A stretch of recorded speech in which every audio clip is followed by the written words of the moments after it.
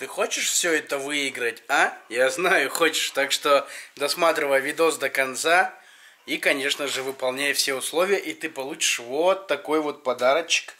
И это все я отправлю именно тебе, если ты выиграешь. У нас здесь есть да, хуя табака Магнум и, конечно же, 2 килограмма угля Black King. Ну а сейчас давайте посмотрим, что это за продукт и что он из себя представляет. Эй, всем привет, с вами Дава, и сегодня у нас обзорчик табака Magnum из Санкт-Петербурга. А, я сейчас курю двойное яблоко и скажу сразу, что вот в двойном яблоке аниса чуть-чуть не хватает, надо было бы больше. Давайте, собственно, смотреть. Я думаю, вы видели уже кейс, видели, сколько в нем табака, и здесь также есть уголь Black King. А, давайте, собственно, все это посмотрим. И пройдемся. Так, у нас вот такой вот сет. Иногда производители бывают очень жадные, а иногда чересчур щедрые. Так вот, это мы все разыграем, условия будут в конце, так что смотри. Так, что у нас есть? У нас есть вот такой вот сет вкусов. А, многие из этих вкусов я уже прокурил и, собственно, готов все озвучить, что к чему. Но я забил по-своему, и сейчас посмотрим, что из этого выйдет. У меня лишь только так на такой слабенький, маленький прогревчик, да. Надо будет немного подождать еще. Так вот, давайте быстро пробежимся по вкусам, какие хорошие, какие нехорошие вкусы, какие получились, какие вообще просто отвратные. Так, давайте смотреть. Банан прикольный, интересный, дынька прикольная. А чай, вот просто ти, это вообще просто пушечка. По ароматике просто пушечка. Ананасик тоже хороший, а, ром тоже хороший. Лимон, ребят, лимон вообще не берем. Просто вообще отвратный вкус получился. Ice Blast, это, грубо говоря, а-ля Супернова, которая чуть подешевле и как альтернатива всегда сойдет. Так, Блубери тоже более-менее хороший. Персик замечательный. А, груша тоже хорошая. Двойное яблоко. Ну, с двойным яблоком нельзя, блядь, так. Двойное, блядь, это священный вкус. В любом табаке, даже в самом конченом, двойное яблочко должно быть пиздатое. А, здесь оно какое-то очень сладковатое. Ну, не знаю, может сейчас прогреется, и анис как бы будет ну, сильнее нам давать, и мы сможем сказать охуенно, да? А клубничка, ну так, с натяжечкой более-менее. Арбузик прикольный, кстати, по арбузу очень сложно сделать нормально арбуз из-за сложности аромки. То есть, ну, кто шарит в табаках, он поймет. Грейпфрут тоже не берем, ребят. Вот не получился грейпфрут, надо менять аромку, надо все переделывать. Манго прикольный. Хороший, такой чуть-чуть травянистый, чуть сладенький. Малинка тоже удалась. Шоколад, ну так себе, мне кажется, вкус шоколад вообще реально просто на любителя. Кому-то закатывает, кому-то просто нет. А, и есть у нас вишня, которая тоже, ну, как бы чуть-чуть похожа, чуть-чуть нет. Еще здесь был, должен был быть вкус грейпфрут, который мы прокуривали, когда встречались с производителем. А грейпфрут, я просто про него расскажу. Грейпфрут очень прикольный, но грейпфрут реально отдавал томатами. То есть ты куришь вначале грейпфрут, потом это слажно, сла, плавно переходит в томат. Да, реально, щербетовский томат. Очень прикольное было ощущение, а потом обратно все-таки в грейпфрут, да?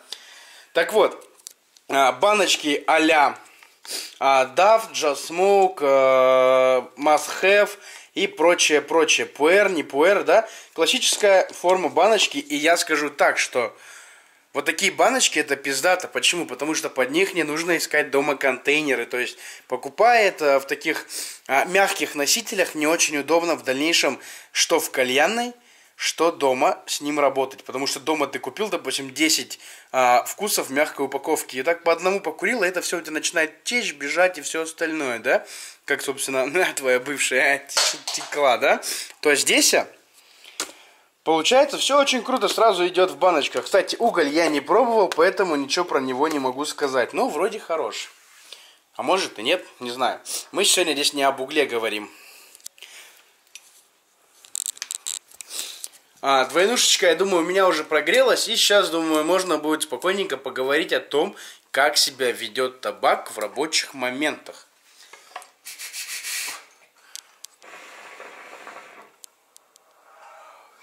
А, если вы увидели, то я грею его на 4,25. Кстати, надо было на King его сразу и покурить, заодно посмотрели бы, что за уголь.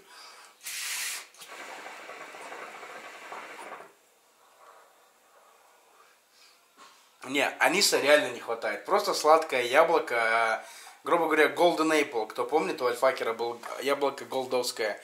Это типа псевдо двойное яблоко, но не двойное, лишь только название. Если забить арабу, то он скажет, блять, на тебя нахуй. Грешник. Эй, ксяу. Она боится Маклауда.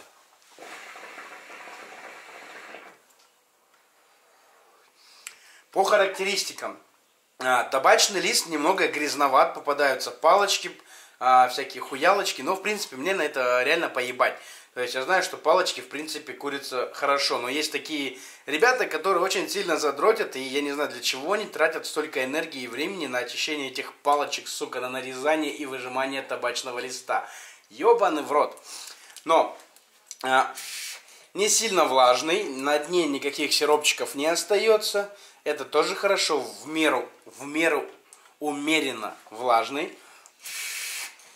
Есть листы как большие, есть листы как и маленькие.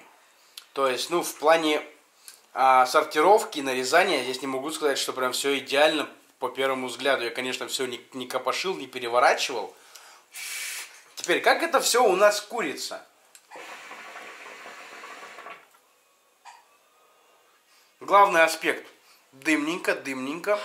А, по ароматике, скажу так, что если не смотреть на двойное яблоко, то держится все очень хорошо.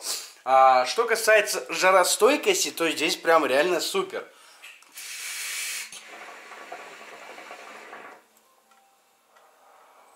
Четыре угля спокойно по крепости 6-7. Да, я бы не сказал бы, что это очень крепко, хотя производитель у нас здесь заявляет, что это hardline. Это а, heavy line, блядь, это heavy, нахуй.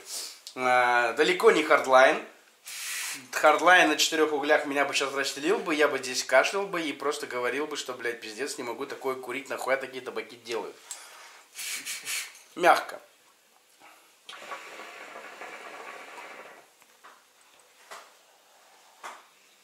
Ну, то, что дымненько, да, я доволен. Анисом недоволен, прям дико расстроен.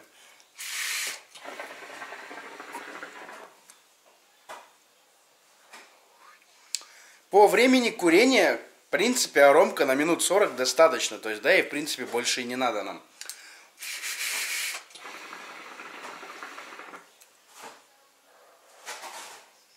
Очень круто.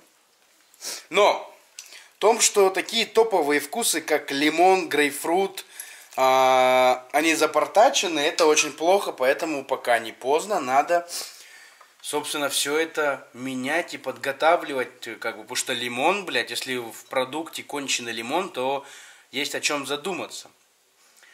А, также вроде бы, если я не ошибаюсь, когда я изучал стенды и подготавливал для каждого стенда вопросы на Hookah Club Show, то Магнум там был где-то возле входа во втором зале.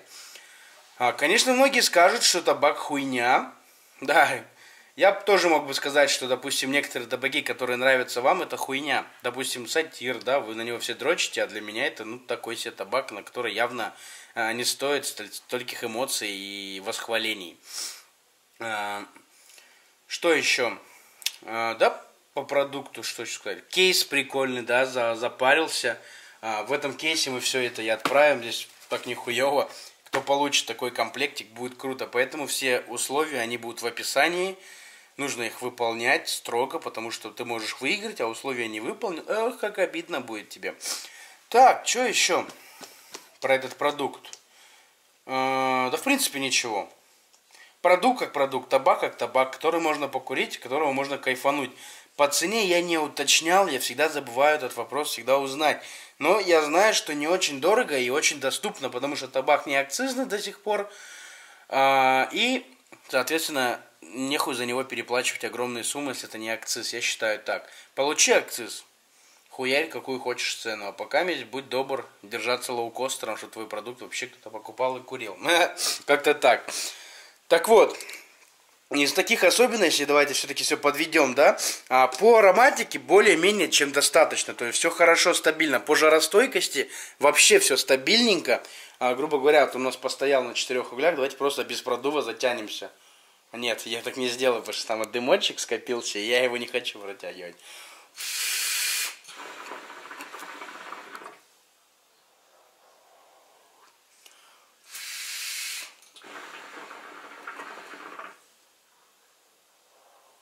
Нормально. По жаростойкости вообще претензий нет. Вот идеально.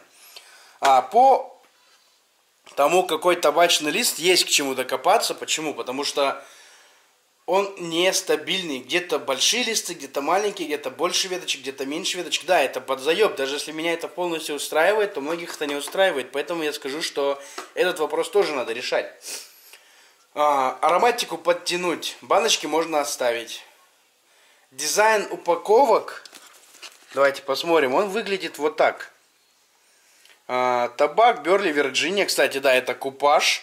А, Вирджиния плюс Берли. Наверное, отсюда такое, такая же расстойкость и такая хорошая ароматика. А у нас 100 граммовые пачечки. Ну, так, себе все скажу. Вот эта цветная такая глянцевая бумажечка, она как-то отталкивает. Вот китайщина дает, как, как кальян и Пандора. Эм, что еще? Прям такого, чтобы этот табак вау-вау меня удивил, я не скажу. Курить можно, но прям, что, бля, охуенно, ебать, я покурил, круто, нет. Такой табак, который можно покурить, если, ну, там все надоело, как бы, да, почему бы не покурить тоже, то, тоже, то, ту же, блядь, грушу, тоже ананас, да, и будет все, в принципе, достаточно хорошо тебе. Поэтому оценочку, я знаю, у меня многие спрашивают, да, почему ты перестал ставить оценку табаку? А, сразу говорю, оценка максимально субъективная, потому что я не могу за вас делать эту оценку. Я лишь отталкиваюсь только от себя. Я поставлю ему семерочку. Да, до восьмерки не дотягивает, но и шестерка будет слишком жестко, потому что жаростойкость идеальная, а ромка есть, это все нормально курица. Просто нужно попробовать и не пиздеть, что это хуйня табак, потому что мне уже писали, типа, хуйня табак. А я думаю, ну реально хуйня, думаю, даже снимать не буду, так попробую, но я покурил, и я такой думаю, блядь, вроде более-менее нормально, есть что сказать, есть до чего доебаться. Поэтому это Дава Дым, это Табак Магнум, участвуй в конкурсе, и этот кейс уедет к тебе. Всем пока-пока, увидимся на Hookah Club Show.